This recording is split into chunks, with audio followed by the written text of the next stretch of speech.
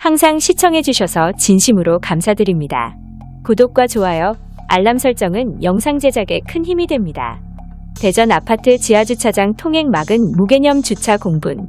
대전의 한 아파트 지하 주차장에서 주차 구역이 아닌 곳에 다른 차량의 통행을 막은 채 중간에 세워둔 무개념 주차가 입주민들의 공분을 사고 있다.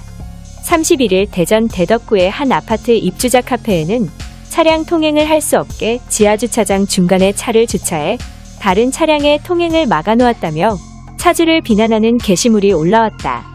카페 게시물에는 차 번호판까지 공개했다. 입주민이 글과 함께 올린 사진에는 지하주차장 양방향 통행로 중간에 버젓이 주차된 차의 모습이 담겼다.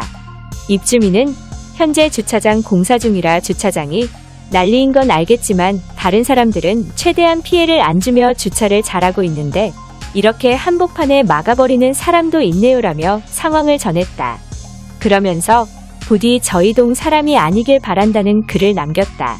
다른 입주민은 주차 자리가 아무리 없어도 이건 아니다라며 주차할 자리가 있는지 찾아나 봤는지 모르겠다.